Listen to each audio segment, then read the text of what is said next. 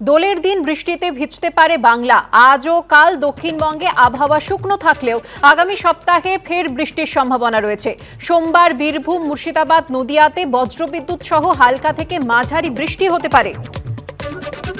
কথা বলব আমাদের প্রতিনিধি সঞ্চয়ন মিত্রের সঙ্গে। সঞ্চয়ন ভরা বসন্তে এমনিতেই বৃষ্টির ভুকুটি আমরা দেখতে পাচ্ছি এবং দোলের দিনটাও বাদ যাচ্ছে না। আলিপুর আবহাওয়া দপ্তর কি বলছে?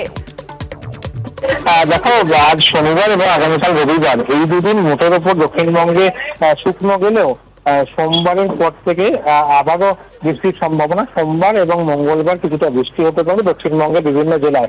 অর্থাৎ সোমবার আমরা জানি দোল এবং হোলির উৎসব।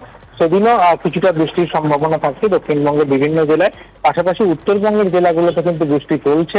সেখানে আজও বেশ কয়েকটা জেলাতে ভারী বৃষ্টির সম্ভাবনা রয়েছে এবং আগামী চার থেকে পাঁচ দিন অন্তত উত্তরবঙ্গের জেলাগুলোতে বিক্ষিপ্তভাবে বৃষ্টি চলবে।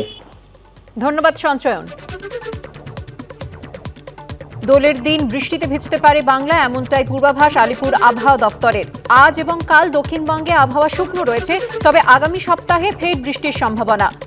সোমবার যেমনটা জানা যাচ্ছে, বীরভূম, মুর্শিদাবাদ, নদিয়াতে বজ্রবিদ্যুৎ সহ হালকা থেকে মাঝারি বৃষ্টি হতে পারে এবং মঙ্গলবার কলকাতা সহ দক্ষিণবঙ্গের প্রায় সব জেলাতেই বৃষ্টি।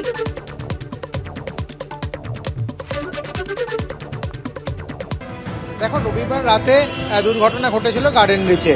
আর মঙ্গলবার সকালবেলা আমরাই প্রথম এই বাড়ির ছবি তুলে ধরি। যে দুটো বাড়ির মাঝে গ্যাপ মাত্র এক আঙুল এবং এই বাড়ির ঠিকানা চারশো চুয়াত্তর বি এবং সি এই দুটো বাড়িতে আমরা ছবি দেখাই। মঙ্গলবার সকাল থেকে যে একটি বাড়ি আর একটি বাড়ির ওপর হেলে পড়েছে এবং এর ফলে দুটো বাড়িই ক্ষতিগ্রস্ত হয়েছে।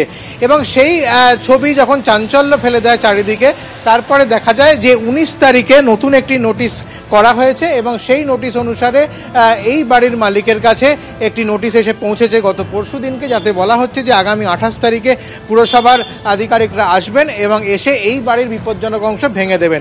কিন্তু তার মধ্যেও যেটা বিষয়, তা হলো যে সেখানে পরিষ্কার উল্লেখ করা রয়েছে যে গত সাত সাত দু হাজার তেইশ, অর্থাৎ সাতই জুলাই দু হাজার তেইশে যে ডাকা হয়েছিল উভয় পক্ষকে সেই দিনে যে অর্ডার হয়েছিল, সেই অর্ডার অনুসারে এই বাড়ি ভাঙার নির্দেশ দেওয়া হচ্ছে। এই বিপজ্জনক অংশ ভেঙে ফেলার নির্দেশ দেওয়া হচ্ছে। অর্থাৎ এক্ষেত্রে পরিষ্কার যে গার্ডেন ব্রিজের এই দুর্ঘটনা ঘটার পরে হুঁশ ফিরেছে। অর্থাৎ সেই জুলাই মাসের পুরসভার যে অর্ডার, সেই অর্ডার মোতাবেক নতুন করে নোটিশ জারি করা হয়েছে এই বাড়ি ভেঙে ফেলার জন্য। পাহাড়পুর রোডের হেলে পড়া বাড়ির বিপজ্জনক অংশ ভাঙার নোটিশ দেওয়া হলো।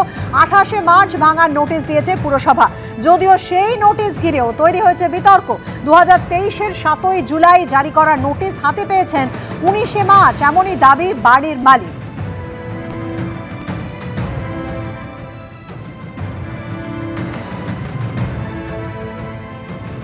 আমি নোটিশ ওই ভাঙার জন্য আঠাশ তারিখে একটা নোটিশ পেয়েছি।